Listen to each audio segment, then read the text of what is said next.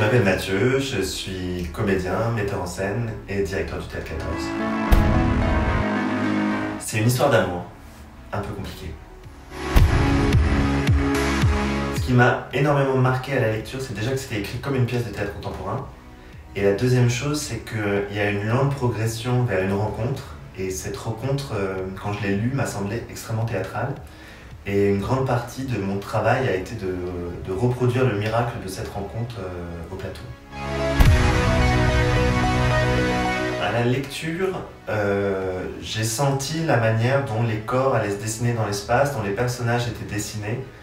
Et j'ai su que euh, la mise en scène n'allait reposer que là-dessus, en fait, sur la, la caractérisation des personnages qui sont eux-mêmes des corps.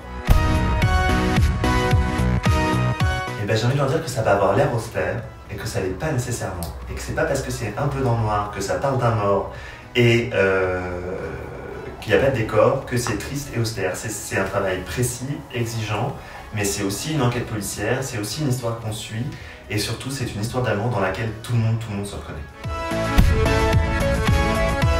Eh bien, je crois que j'emmènerai pas une pièce parce que j'ai quand même plutôt tendance à monter des romans, bizarrement, et j'emmènerai euh, Que font les reines après Noël parce que ça doit être le livre que j'ai le plus lu avec la garçon d'Italie et j'ai vraiment l'impression que ça raconte euh, ma vie. Ah Ah non, là, c'est- je sais pas. En ce moment, je suis prêt à me rouler sous les roues de Isabelle Huppert euh, pour qu'elle vienne faire une apparition dans mon, dans mon prochain spectacle.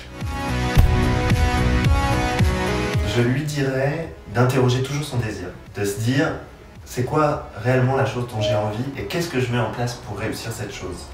Et je crois que souvent quand on se dit mais quel effort je fais pour réussir mon objectif, on se rend compte qu'on a plein de possibilités en fait qui.